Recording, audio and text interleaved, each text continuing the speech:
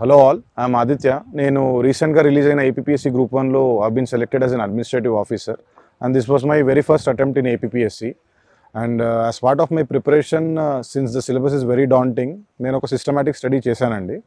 And whatever the syllabus is there line by line I try to approach the syllabus and first focus areas prepare చేసుకున్నాను నేను.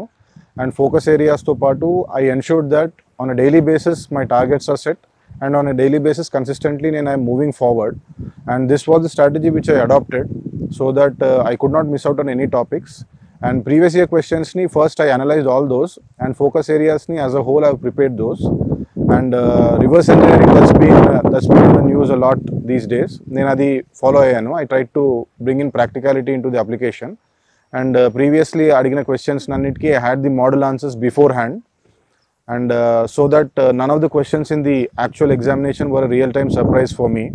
So e guessing game ni i think i i could uh, think on what lines APPSC is going to model those answers.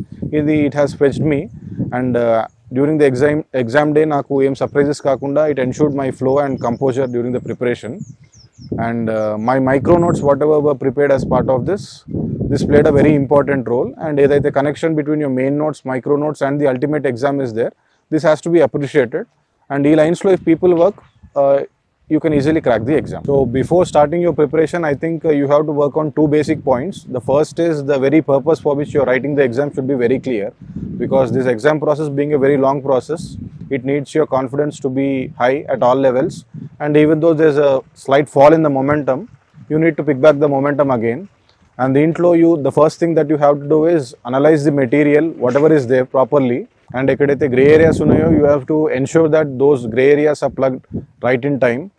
And uh, previous year questions will play a very important role in this. And in case you have a difficulty in analyzing the questions and in finding out the important areas i suggest that you can refer to any mentor uh, any mentor of your choice who understands your personality and your requirement. In my case uh, i have approached uh, Vishnu IAS academy. They were uh, flexible in their approach and they were quite freely available also so that played an important role in uh, carving out my preparation and uh, given their experience, given the experience of the faculty, since they have seen the trend for the past five to seven years, and uh, an an aspirant who is just now starting the preparation, he cannot read through the lines.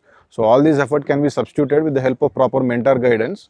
So people who find difficulty, they can approach this way, and people who are already experienced, they can mark out all the areas as I've already elaborated, and they can proceed forward. So all the best for your preparation.